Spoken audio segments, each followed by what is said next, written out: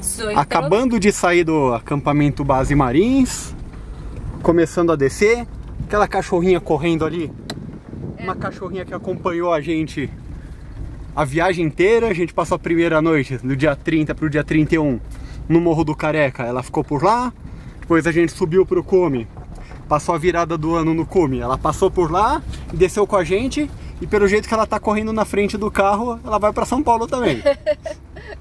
Tá começando a chuviscar agora. É, agora Agora pode cair o mundo. Agora a gente já tá seco. É. Ah, o odômetro do carro completou, ó, ó, ó. Chegando aqui, ele completou 1, 2, 3, 4, 5, 6. Ó lá, tá 1, 2, 3, 4, 5, 7. Aposto que você nunca tinha visto um odômetro assim. Que é pra começar bem o ano. É.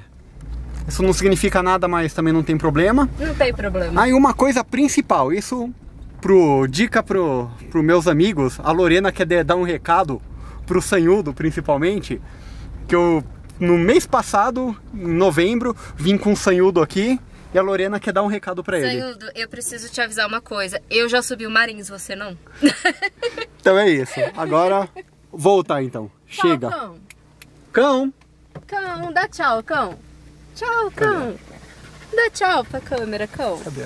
Aqui. Ah, aí ó, essa Tchau. cãozinha que subiu com a gente. é isso, o Marins, a gente volta na temporada.